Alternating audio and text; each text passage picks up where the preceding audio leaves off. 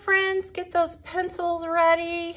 We're gonna be drawing a Boston Terrier. Such a proud and noble dog.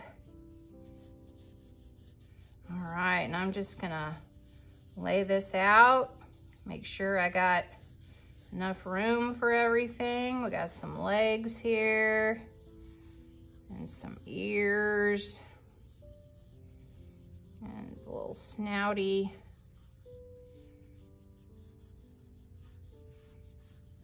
All right. There's his eyes. Okay, well, you guys keep drawing in your pencils. I'm gonna go with markers so you can see it real good. Okay, so we're gonna start with his cute little sniff of nose and we're just gonna do a little circly that's gonna come around just like that. And then we're gonna just put a little line underneath of that. And we're gonna have a line coming down like so. Then we're gonna have a line coming around like that. And another line coming around like that. That's gonna come back up and come over his nose kind of like that. And we'll put a few lines up there. All right. Then we're gonna put another line coming up like this. And then we're gonna continue another kind of curvy line up like that and draw a line across. Let's kind of go farther like so. All right, then here's his little ear. So it's gonna come up and drop down with a little curve and in. And then here's the side of his face. It's just gonna have a little curve. There's his jaw comes back in here. There's a line for his mouth. Then we're gonna have another line coming up over here, kind of a curvy line like that. And his other ear up and down, like that. And then have maybe a line coming in like so for the inside. All right, now for his eyeballs. So they're just gonna be a curvy line with another curvy line. We're just gonna get those in dark, leaving a little light. This one's gonna be a little different. It's gonna be longer, like so.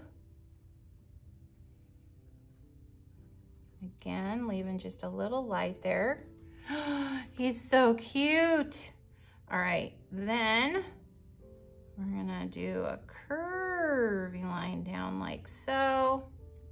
And then we're gonna come back here to the top of his head for his back neck. Line coming here. And then a line coming here. Little fluffum tail. Here's his little butt. Dog butts are so cute. And then we're just gonna do kind of a curvy line here, coming down. There's his paw, coming up, up,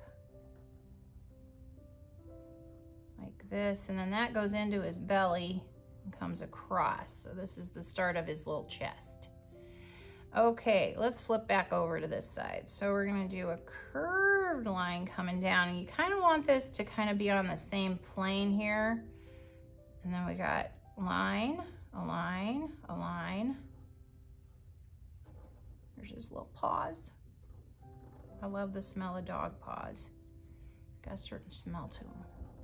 And that just comes back up. And don't forget his little dewclaw spot right there.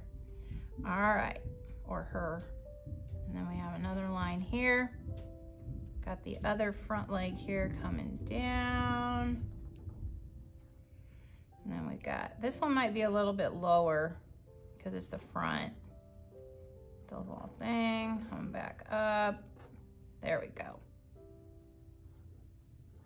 There, looks good. Now for the back leg.